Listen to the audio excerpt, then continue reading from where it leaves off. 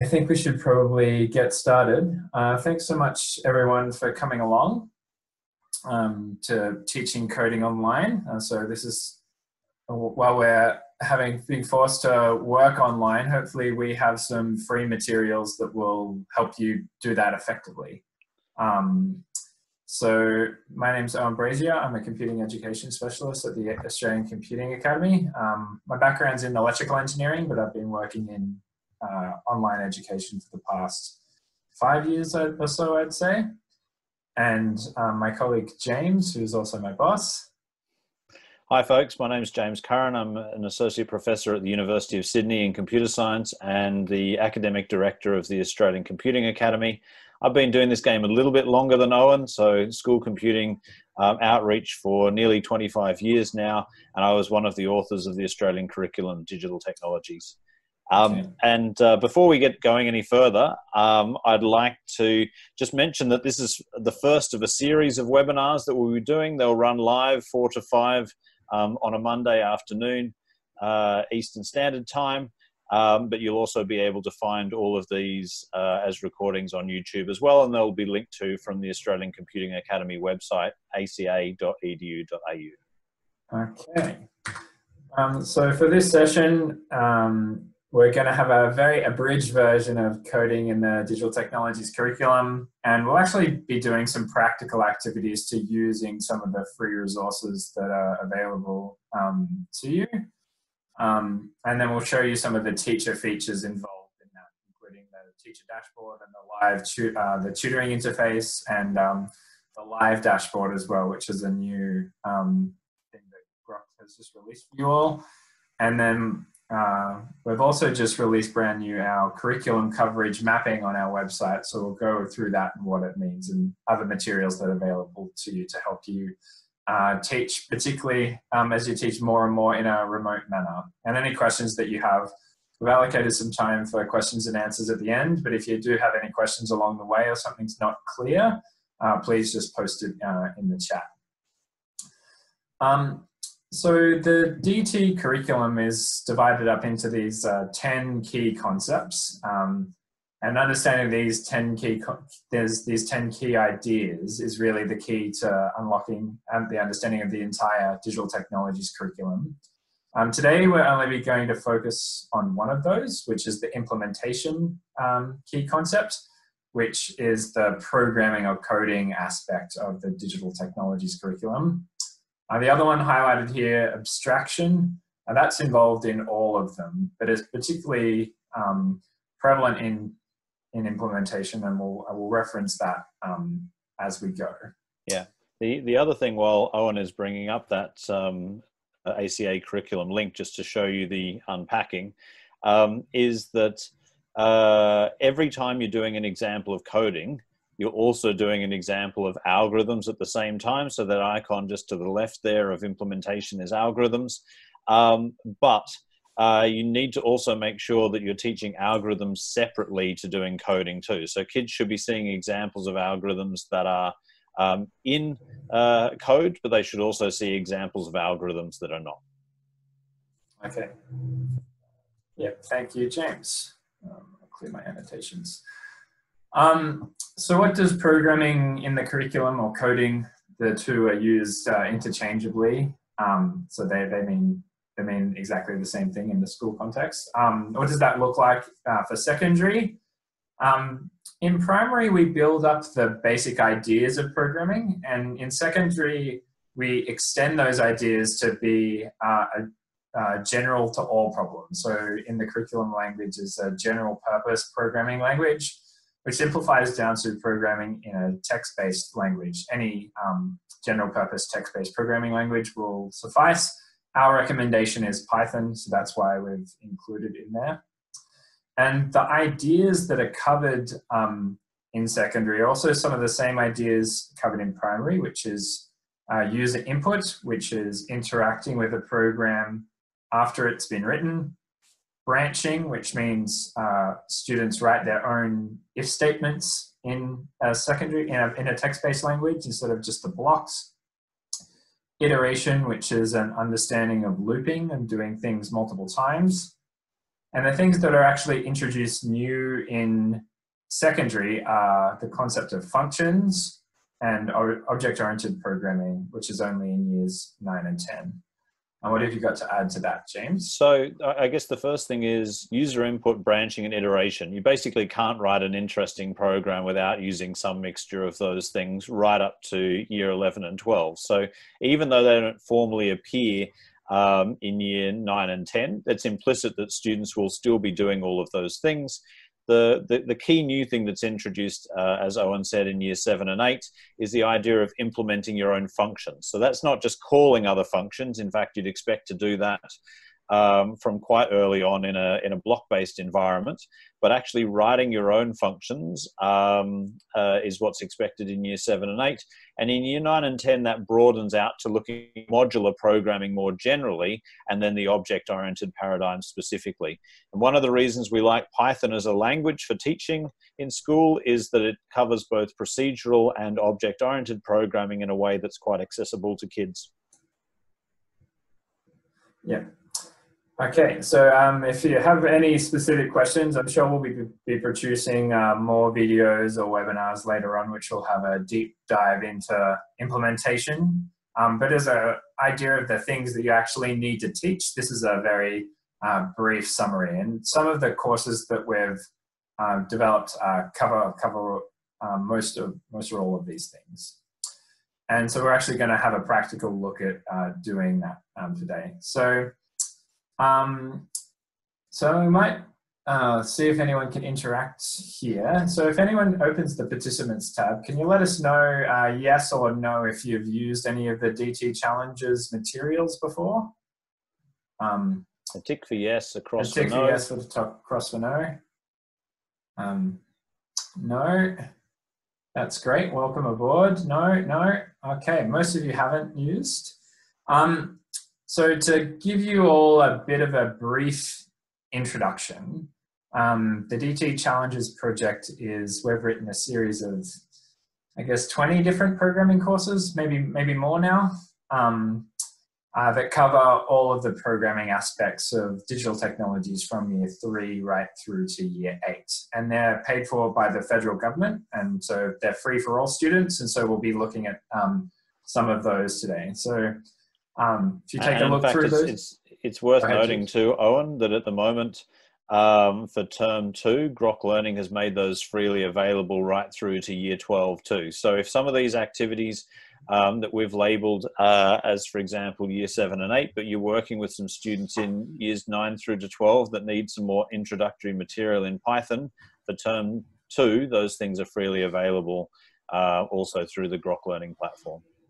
And we'll be taking a, a look at um, some of those specific ones um, today. So hopefully this, uh, this webinar can uh, be a, a little bit hands-on. Um, um, and so we'll see if that works. So if you, you all should have gotten an email uh, saying to create uh, an account on Grok Learning. Uh, can anyone give us a tick for yes if you actually went ahead and did that? Um, if you do have a teacher account on, on Grok Learning. There's a, there's a, yes, you did. Great. Um, okay, so, so, if, you, if you haven't had a chance to do that, now would be a great time to, to, to go and do that for yourself. So if you go to groklearning.com or you can also see the step-by-step -step guide um, that the ACA has put together, aca.edu.au slash start will give you that teacher's starter's guide for creating your account, verifying it, um, setting yourself up as a as a verified teacher and then accessing all of the content. So feel free to go and do that now. And if you have any questions, um, feel free to um, to whack them up in the uh, group chat, and I'll answer them while Owen's talking. Yeah, thanks, Michael. Glad you um, glad that you followed the list of things. Um, so we're actually going to get started, and I guess the best way for for me to do that will just be to demo it on um, my screen, and then. Yep to benefit everyone um, following along that they can follow. But um, if you're following along at home, um, the things you'll need to do first is log into that account uh, you have created on um, groklearning.com. And after you log in, and the emphasis on after you're logged in, because that's when the second link will work, uh, just go to this uh, URL uh, cmp.ac slash webinar dash S, and the dash S is for secondary. And so I'll go ahead and do that uh, now on my screen. And by the way, if you're um, watching this webinar at a later time, that uh, workshop code will continue to work after the, the live version, so you can still follow that URL there. All right, so you see I might have gone to a workshop or two in my time. Um, if I type in that URL here, it'll ask me to confirm what school I'm in.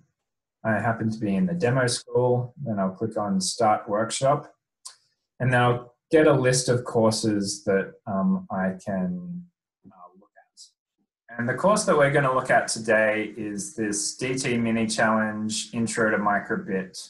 Um, I've used this course already, but if you have not used this course, you should have a start button instead of this resume button. And, and the thing to note, by the way, this uh, this workshop code that you entered in the, the URL just gives you a subset of the courses that we're going to look at today. So if you go to your normal Grok Learning homepage, um, you'll actually see a much larger number of uh, freely available DT challenges. You'll see all of the primary and secondary related material and also all of Grok Learning's own courses.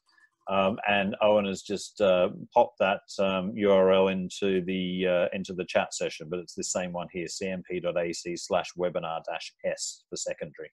Yeah. Um, so normally when you log into Grok Learning, you won't be at the workshop page. This just gives you a subset of courses that we're going to talk about today. Yeah. Uh, so I'll give, give you give you all a, uh, a minute. Um, can you uh, tick the no in the Zoom uh, chat if you if you're not there yet, or give us a yes if you if you're if you're ready to go. Um, thanks, Michael. Okay, great. All right. And if your uh, approach to watching the webinar today is you don't want to follow along, you just want to uh, sit there with a glass of wine and uh, relax, having survived Monday afternoon, feel free to tick as well so we're not sitting here stressing about you not logging in yet. yeah, because I, I, will do a demo for everyone, but the idea is that you can uh, you can do this yourself. So we'll um, we'll see if this works. This is the first one that we've done quite like this, so we're all uh, still learning ourselves as well. So Peter, Rebecca, and Reem, I haven't heard from you yet, and so yes, um, we've, uh, uh we've got a got a tick from everyone so far. So I might uh, just right. move on, Owen. Yep. Yep. Um, so if I click resume, then it should take me to a screen uh, that looks like this, which is just the course. And this uh, interface is the Grok Learning interface that a student or anyone doing this course um, would see. You'll notice on the left-hand side of the window, um, um, down here on the left-hand side, you can see a series of uh, pips, so circular pips or diamonds. The circles denote slides. The diamonds denote questions. And uh, students will soon figure out this and they'll uh, uh, skip over the notes and jump uh, straight to the questions. Um, but how we, how we navigate that is just by either clicking on it um, to go to the next slide. You'll also see a little arrow up the top, um, uh, up the top, up here um, where you can click on that to go to the next slide. Um, and you can also use your left and right arrow keys to jump ahead. Um, however, what I like to do is clicking on this uh, menu icon up the top left will expand out the whole course and you can see the title of each, um, each slide deck uh, as we go. So that's uh, how to navigate through the platform. And you'll notice that uh, inside the uh, notes, you'll see some code and um, you can actually type in, in, in the code window. And when you click run, it will execute the code that you run in the platform. So for example, this course is using a device called the BBC Microbit. It's a cheap uh, uh, 20 to $25 little um, microcontroller um, and so this is just simulating what would happen on that device if, if this code was running. So there's a virtual simulator that runs in the browser that produces the same output. And I can change that because um, we're living in sad times. I might make it uh, show a sad face. And if I click the run code button, see on the output um, changes um, when, I, when I change the code. Yeah. And so um, any code that I write in the platform will be executed and it's an interactive way of learning.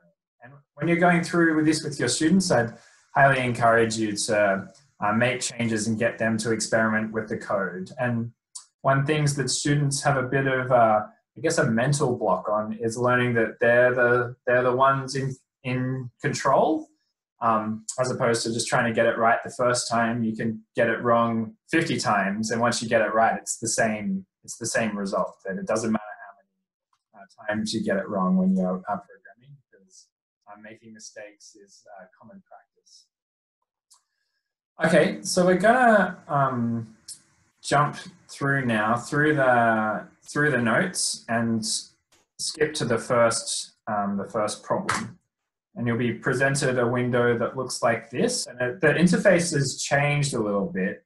And this is where you can see that the um, that it is a problem because we have the question text uh, on the left hand side. And then the code where we write the solution to that question um, is in on the right. Um, so here the question says, write a program that shows the happy face on the microbit. And if we've read the notes, notes previously, we'll have a pretty good idea of how to do that. Um, and if we click the play button, it should show us an example output of what we expect to see if we get this uh, solution correct. Um, so if I type out the solution, I'll use the display object in the microbit to show something on the display. And the thing that we're showing is an image, and the image that we're choosing is this uh.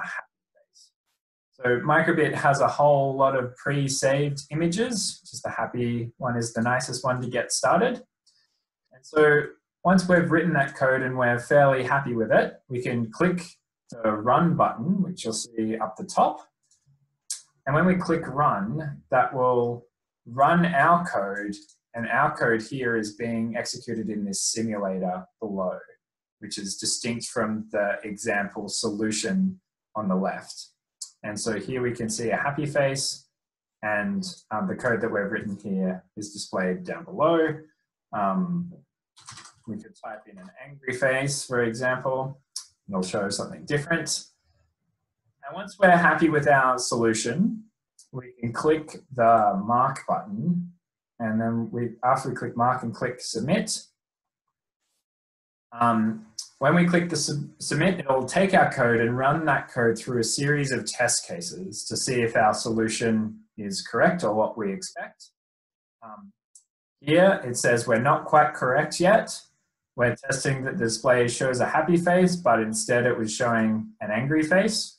Um, so if we read the notes, it'll give us uh, intelligent hints based on my solution and describe what it expected to see. So now if I run and submit that, um, we got that correct now. Our submission passed our test and we've written our first microbit program. Okay, great. Anyone following along at home, did you manage to get out the first question?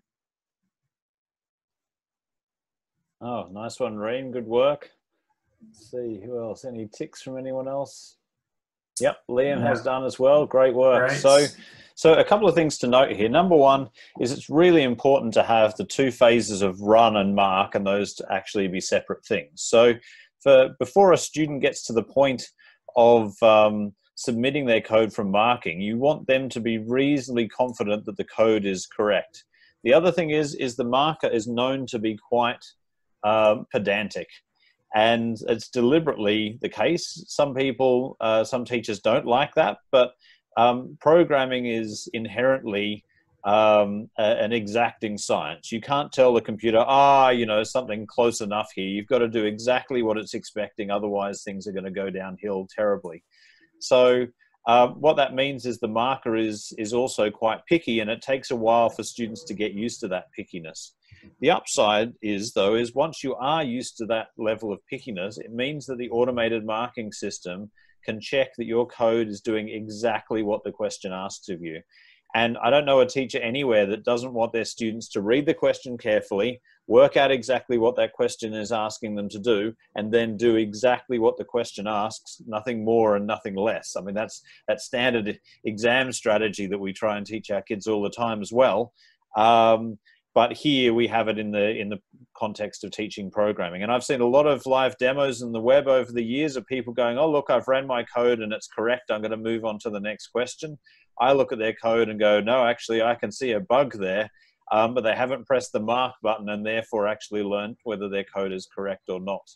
Um, uh, by the way, in terms of progress on the left hand side, so you'll see that the um, diamond, once you've solved a problem, goes green if you started solving the problem and so have submitted it to marking but haven't got it correct yet, it will go orange instead.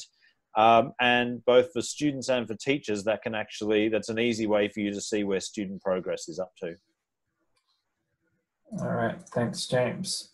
Okay, so we're going to jump on to the next question now, um, which is making our own uh, virtual pets write a program that shows a picture of a rabbit on the microbits. So we'll um, take a guess that the rabbit image is just exactly the same as the code before, but the thing that we're changing is um, happy is now going to be rabbit. We'll see how that works. All right, that looks something like a rabbit. Well, if you already know it's a rabbit, it looks like a rabbit. Uh, I think that's probably the way I'd describe all of the microbit images. Um, I'll just demonstrate what James said earlier, where if we mark it an incorrect, say, for example, I just copied and pasted my code from the previous problem and submitted that. We're not quite correct yet. Our submission failed the test. Um, and you'll see on the left-hand side, my uh, pip has turned orange. Orange means I've made an attempt at a solution, but not quite gotten it correct yet. And so it's an easy way to, if you're walk, wandering around the classroom and, um, and can uh, just take a quick look at the, the kids' left-hand side of their screen, you can sort of see uh, if they've actually gotten their questions correct there or not. And when you get to the teacher dashboard and um, uh, live um, classroom features that we'll show you a little bit later on. It's that same color scheme. You can see exactly where your students are up to. Okay. So if you're playing along, oh, yep. Uh, but before you get that one correct, why don't you change something that's a little bit harder to spot as a bug? Let's let's replace the capital I with a lowercase i, um, and try and run that version. So it's gonna, uh, so when there's a syntax error or that my code is not quite correct, because our code is being executed on the device, it will uh, display an error message. And on the microbit, you can, see, you can tell there's an error because the line has been highlighted. But the thing scrolling along the screen is actually a bit hard to read. So what you can do instead is you can click the output button, output tab next to the simulator tab um, down the bottom here.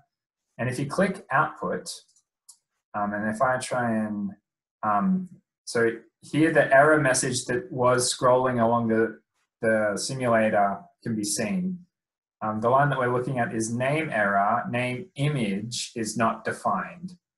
Yeah. So it says so we've got the correct, the incorrect name, and image is something that uh, the microbit doesn't understand as something that exists. Um, now, rather than, rather than rather than fix that, Owen, let's um, let's use this to test another feature while we're here. So yeah. imagine either as a teacher or a student, you're actually really struggling with this. You've you know you've read the error message, you've stared at it for ages because capitalization is one of those things that the human mind often just can't even see the difference. So let's go and ask a tutor for. We'll save that one first, Owen, because I'm not sure whether. Oh, you did run that version. So yep. Yeah. Okay. Cool. Um, let's go and ask a tutor for help. Uh, just scrolls. random text on my screen. Um, okay.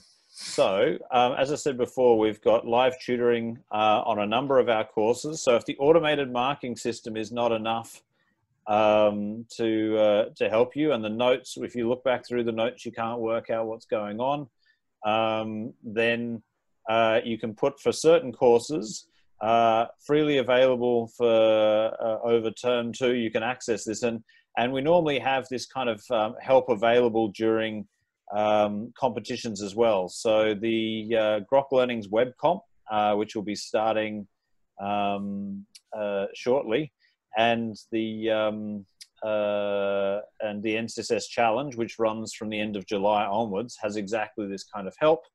Um, and the other thing is is that you'll notice this list of things to do first. We always encourage students to actually read things. Oh, look, here's one of our tutors. Uh, Annie's just replied.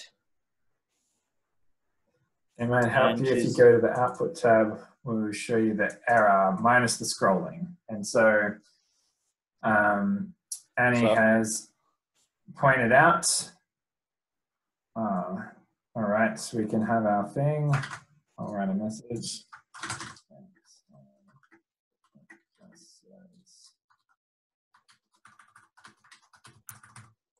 Um, okay, so notice here that Owen has uh, um, uh, pasted in a snippet of code. Um, both the tutors and the students can actually paste code in either direction. Um, and in fact, that code can be runnable uh, well. So Annie will probably reply to Owen shortly. We'll give her another few seconds. Now, the other thing about these tutors is that, first of all, they've all got working with children checks um, and they're uh, trained to help students in ways that don't just give away the answers. So Annie's going to work with Owen. You'd think by now he might have learnt some of this stuff, given that he'd written the course, but he's still struggling. Um, and um, uh, so Annie will try and help him in a way that involves him actually, Owen actually doing the thinking here rather than just getting the answer. Uh, the other thing to note is that we've got an escalation process. So if a student says anything that's inappropriate and so on, it's going to come back to the um, Grok Learning team and we'll contact the teacher uh, that has this associated with those student accounts and or contact the school. So we, we've got your back in terms of your kids interacting on the site and they're fully protected in terms of the relevant child protection um, legislation across the country. Uh, but if you're if teachers are stuck and or your uh, sorry students are stuck or you're stuck, you can get hold of a tutor between 8 a.m. and uh, 6 p.m. Eastern Standard Time um, on weekdays for all yeah. of term two. And is there a schedule of which courses the tutoring's turned on for at the moment, James? Uh, there is, and that uh, selection of courses is growing all of the time. Let me see what it is right now. Um, so at the moment, it's the we've got um, DT Challenge Chatbot for Blockly and Python, DT Challenge Turtle, um, Blockly and Python. We've got Grok's own intro to programming courses in Python and Blockly. We've got a whole bunch of the microbit courses and also the um, uh, Space Invaders JavaScript courses. Now you'll be able to tell when there's tutoring in a course because that button in the top left-hand corner, tutoring, that Owen popped open will only appear for those courses where tutoring is enabled. Yeah, and that button, in case you can't uh, spot it, if I can get my drawing tool out, is right at the top there, top left. Um, Okay. All right. Well, we might uh, leave Annie. We we we said to her that we would uh, use this just to demo it, but I think she probably doesn't feel that Owen actually needs um, tutoring, so we might move. Oh no, no. Oh, no there let's, we go. Uh, let's see what Annie said. Ah, um, great. So image looks like a variable to the computer, but for the microbit, there are special images already built in. They live in capital image. Remember that capitalization is important. And that's a perfect example. That's a model model response from a tutor. Nice work, Annie. All right. There Good. we go. Right, so let's, let's, move on. So to replace that, that's a capital Y there. All right. Um, so we we can move on, um, but I think I might move on to a new function in um, in the microbit, which is involving the sleep function. So if I skip to that slide, um, uh, that's all right. Thanks, Annie. I'll jump back. And you'll notice when I clicked there, it jumps back to the problem in which Annie was um, talking to me on. Um, so looking at the sleep function, um, if we read the code, how it, how it executes, it'll run one line, then immediately jump to the next line, and then after this line is executed, then it will jump, just sequentially run through all of the lines. And so to create an animation, what this code does is shows a giraffe for two seconds and then shows a duck. If I don't have a sleep there, and you expect a giraffe to be seen and then a duck to be seen, if we click run, we only see a duck there because the code executes between these two lines incredibly fast, much faster than our eyes can pick up. The only thing that we see is just the duck because after the duck has been displayed, nothing else happen, happens. We never tell it to be not a duck. And so we need the sleep in there to hold the image of the giraffe for a given amount of time. And the parameters of that is sleep gets a number and the number is in milliseconds. So this is going to sleep 2000 milliseconds or um, two seconds. You can change that number to be um, five seconds if you really like giraffes. Um, it'll just hang out there for a little bit before eventually um, switching to the duck. Okay, so we might um, go straight then to our next question um, which is to write an animation using the sleep function. So, um, so how about Owen? Let's uh, since our time is rather short here today, let's um, show the teachers some other things that they have access to. So, okay. see that there's uh, no don't switch courses. Show the solutions tab or the teacher oh, notes. Yep. So once you're a verified teacher, um, and you can either click the link on the Grok Launchpad or go through your account to request verification. Um, then you'll get access to the teacher's notes. And when you've completed a question correctly, you'll also get uh, access to the solutions. Um, so on the teacher's notes um, tab, it'll have an explanation of the solution and a sample solution there. So if you don't know how to solve a problem, there will be at least one or maybe multiple different ways of solving the, the same problem. And if you want to test out that solution, this try this solutions button in the bottom will load that solution into your uh, workspace and then you can modify it as you like. Um, so you can run that code and see that the output is expected and you can also mark it um, yeah. as well. Now before we uh, move away from microbit entirely, um, you can also download that code onto the, the microbit itself. Now, we're not going to do that with a live microbit today, um, but if you've got a microbit or your students do, um, then you can click the download button, uh, which is right next to Mark on the right hand side there, and it will give you a hex file that you then need to drag and drop onto your plugged in uh, microbit. And it, a microbit behaves basically like a USB flash drive. You drag the file on, You'll see the little yellow um, LED on the back flashing to indicate that the new program is, is being um, downloaded and then it will start running as soon as the download process is finished. Yeah. I was just grabbing a microbit. They, uh, they look like this. So I've just got a couple here, always, usually on my desk, but this one happened to be under my desk. Um, okay, so we haven't uh, are we going to jump courses now, James? Yeah, let's um, let's just do a quick sample of a few of the other courses. So the microbit is one great example of a course that involves um, you know some coding, but doing it in a particularly interesting context, which is using the microbit. There's a range of microbit courses, um, both full challenges and mini challenges provided by the ACA both in Python, and then many of them also have an equivalent Blockly as well. So if you're teaching year seven and eight, for example, and you've got some kids who haven't done that much programming before, who may not be ready to go straight into Python, there's a Blockly version of many of these, which allow you to split your class up um, with some differentiation. Some kids could do the Blockly version to get started with, and other kids can start attacking the Python version straight away. Okay, so um, there's a few ways to navigate to the different courses. I'm going to click on the Grok Learning icon in the top left to just go to the home page. Um, you can see at the top, you can see what courses have been assigned to a student. So as a teacher, you can choose what uh, course appears um, at the top here. So I'm, uh, I'm currently assigned to a university course um, but you can choose which which course your students um, can be assigned to. So it's really easy for them to get access to the course that you want them to do. Um, however, there's the filtering tab on the left is a really quick way to filter through all of the courses that um, that you, you would like to see. Um, and because you've clicked a workshop, you should be enrolled into a whole into a couple of courses already. Um, so if we filter by Australian Computing Academy, they're the Australian Computing Academy courses. We're in high school, so we're going to look at the text-based courses.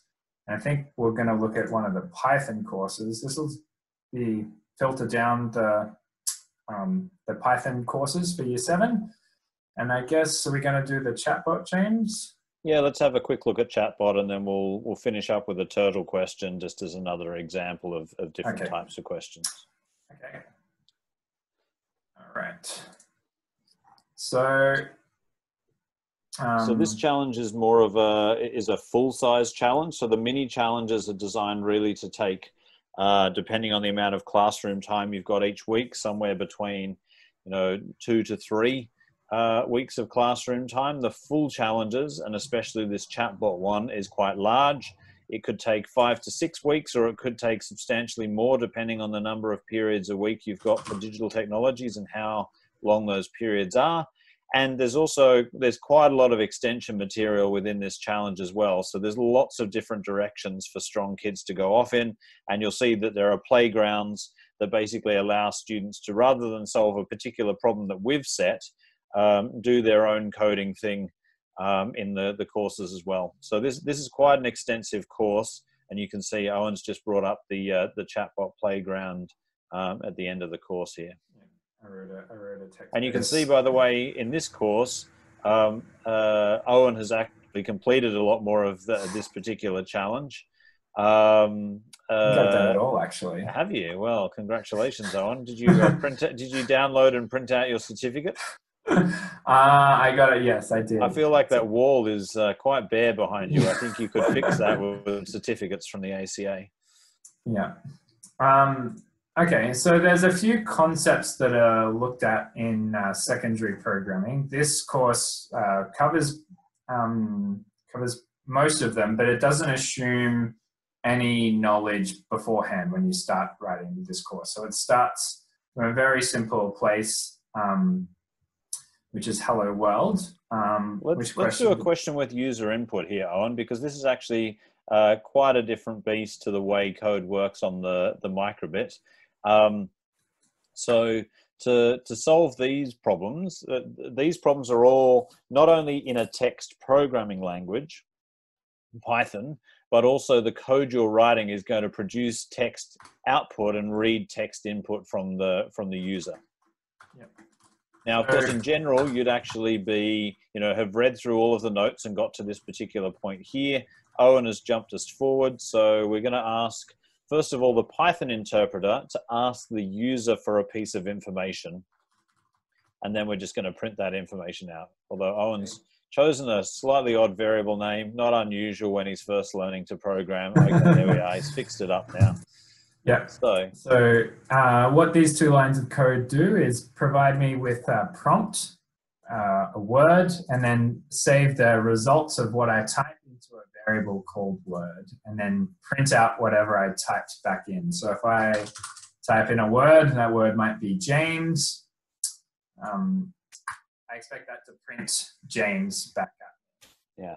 So um, the thing to notice here is that the program doesn't know what is going to go into the variable word until the user actually supplies that. So if Owen puts any other text here, notice that it actually has gone, you need a pay rise. What an awkward way to ask, Owen.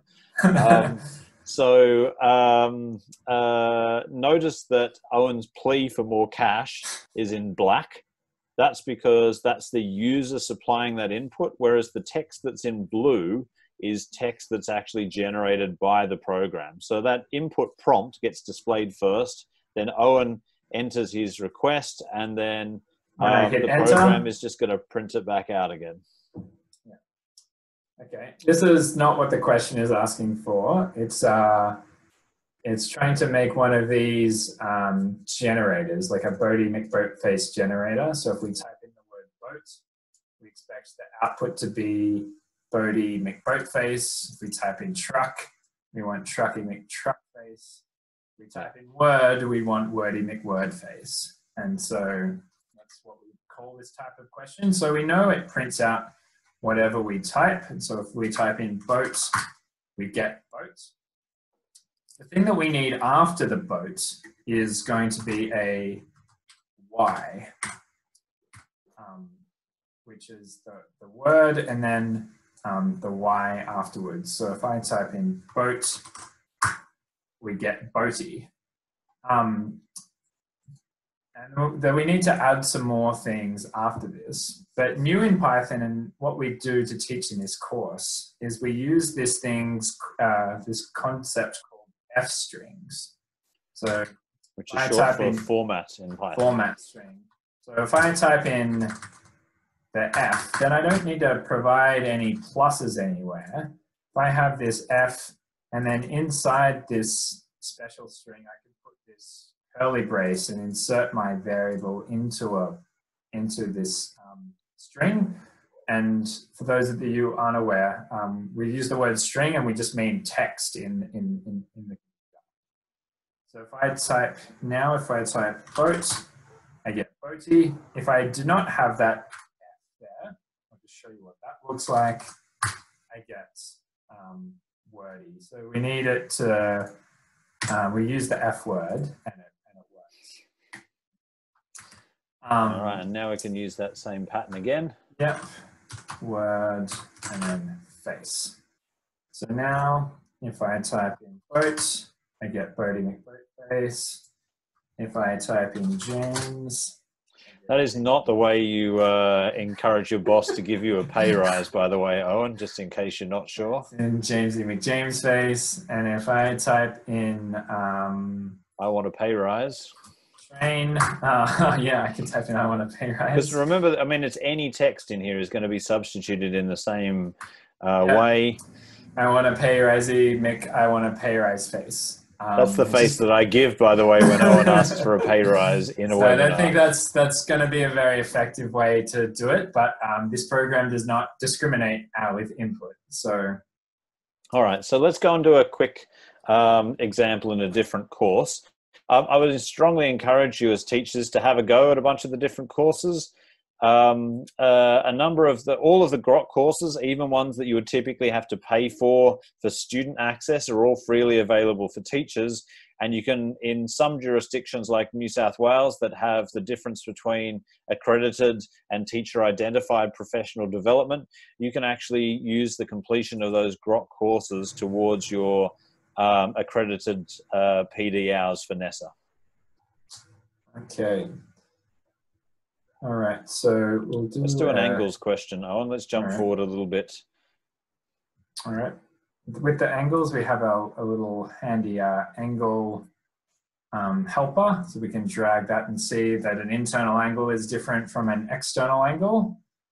Um, all right. And essentially, this course, if you've uh, if you've heard of Turtle Graphics or of Logo, this is essentially Turtle Graphics or logo implemented within Python. So you're still using Python syntax, Python function calls, etc., but um, you're actually moving the uh, the turtle around in exactly the same way as Seymour Papert envisaged um, in the 1980s, and it's still a very powerful mechanism. In fact, there's a large number of courses um, in different environments and, and with different skins on that are ultimately doing the same thing. So if you've done any of the Hour of Code courses, for example, like the Frozen Hour of Code course, Um, you can have Anna and Elsa wandering around drawing um, icy lines around things, but it's still under the bonnet, still exactly the same uh, turtle graphics that's happening.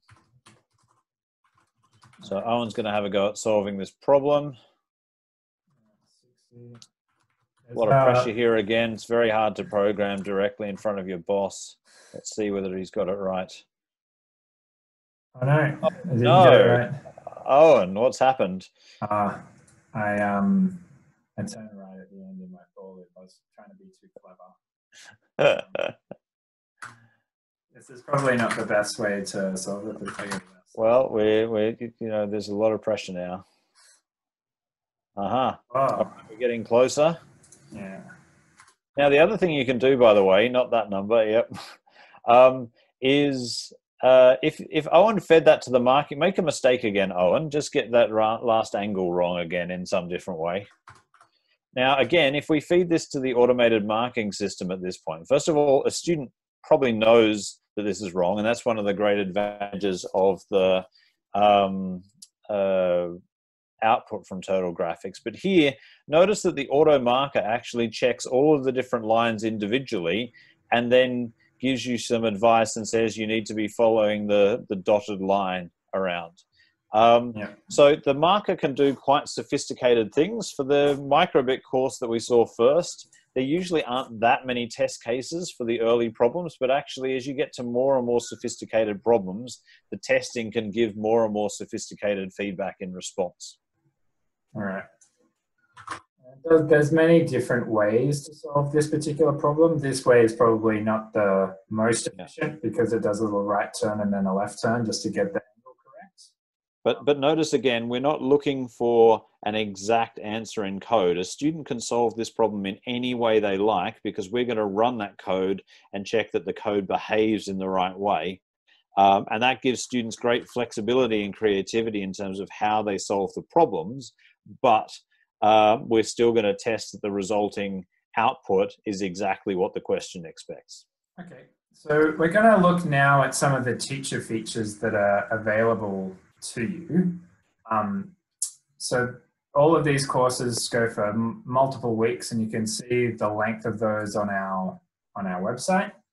Um, but if, as a teacher, if you click the teacher dashboard, you might want to check um, how your students are going.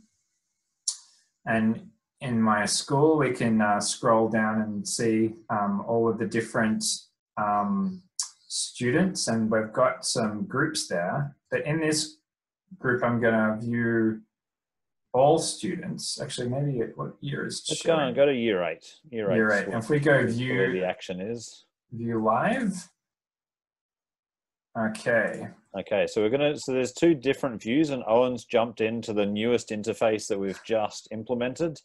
Um, so this was only made live in the last week or so, and we're continuing to add new features to this all of the time. The purpose of the live dashboard is essentially to show you e- exactly what your students are doing at any point in time. So, uh, for example, we can see that since four o'clock, um, uh, Hermione and Luke uh, have been working pretty consistently. In fact, oh, Hermione's just answering a question, uh, has just run some code now. We can see exactly what, and she's just successfully solved a problem. And the, the purpose of this interface is essentially to replicate the kind of thing you'd be able to see if you were in the classroom yourself wandering around. So, Luke Luke Skywalker. Um, you know, a bit of a May the Fourth reference there. Um, uh, has just uh, very recently viewed a particular slide, and you basically you can see that on the other Cho Chang um, really has had a bit of a collapse after a lesson that looks like it might have started at four o'clock, um, but they seem to have given up somewhere around 4:20 or so. Um, now that feature, in combination with the fact that you can also directly, uh, or as of the next few days when we switch it on, you as a teacher can use the same tutoring interface to message students on a particular problem when they're stuck. And so you'll notice, for example, um, that on the uh, pick a pet problem, uh, Luke has had one go at that and hasn't actually got it out yet. If you click on that, that can actually take you back to that same problem. And you can see that, uh, uh, unfortunately, Luke. Um, Luke's got it right. uh, well, has got it right now, but actually, if we clicked on that earlier, um, we would have seen that uh, Luke hadn't got it right. In fact, you can click down the bottom there, and you can see not yet failed a test. If we load that version, we could even see where uh, Luke had got it wrong previously. Um, oh, and you can not, see, in fact, that, that Luke it's not did, loading for me. Um, uh, yeah, it did because it's all that changed was the, oh, yeah, the image. Oh, the and image. it was the same mistake that you made before. interestingly enough, you and Luke Skywalker making similar mistakes. Oh, I, if I can be like someone, I think that's not bad. Uh... I would be I would be proud to make Luke's kind of mistakes. I agree. So um, the the teacher dashboard, sorry, the live classroom gives you um, an update, and if you click on click on the um, scroll along on Luke to the right, you can see see where that tick is. That's now that's the point that Luke actually solved the um, the pick a pet problem. So the live classroom gives you completely live updates of where they're going. Um, the features that we're adding next is the ability to zoom in further. So you could, if your class has started at just four o'clock, you can see the most recent hour. Because obviously, if an hour is only spread out over uh, you know, roughly a couple of inches of screen space, then all of those events are going to be quite close together. Um, and uh, yeah, you can get a lot out of uh, out of that and be able to directly interact with your students. Back on the um, classroom, uh, the the main um, teacher classroom page, you can look at a particular course rather than what the students are doing live. Um, so let's see, we're going to look at that same uh, microbit one. Um, and we can see different students have made progress here.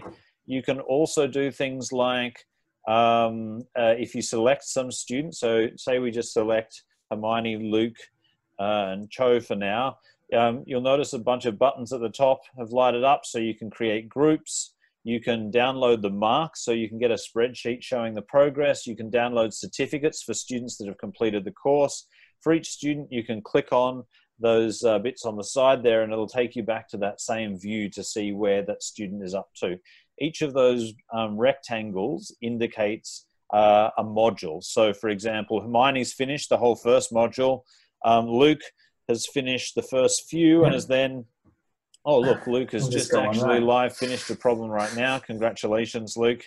Um, and so the, the um, managed students view allows you to drill down on a particular course that you might have set students to complete in, whereas the live classroom tells you exactly what the student is working on right now. So if you've got different students working on different courses, which as I said before, if you've got, say, the Blockly and Python version of a microbit course going for different students um, in your same class, then you can see all of those at once in the you live look at classroom. that group. Yeah. Yeah, exactly.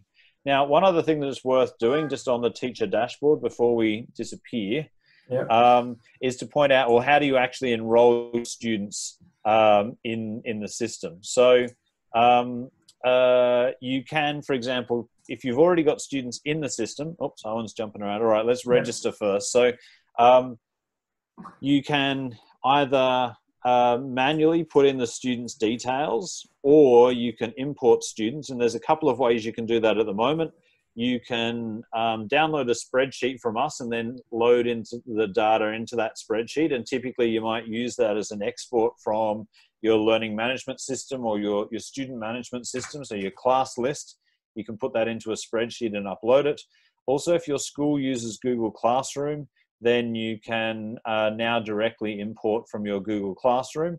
We'll soon be adding support for Microsoft Teams and um, Canvas as well. So if you use any of those different systems, then you can import data that way. And then for the free DT challenges and other free content from the ACA, that includes our cybersecurity project, all you need to do is register the students. You don't actually need to um, then pay for subscriptions. If you want access to other Grok content like WebComp or the NCSS Challenge, at that point you would then go to the, the second part, which would be to um, uh, pay for uh, subscriptions.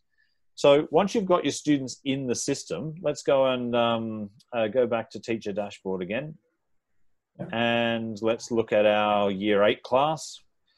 Say we want to now take all of our year eight students, so we can click there. um, we can now assign a particular challenge uh, to those students. So let's say we want them to now do the um, cryptography challenge, which is a year seven and eight activity developed by the ACA that teaches cybersecurity in the context of year seven and eight digital technologies.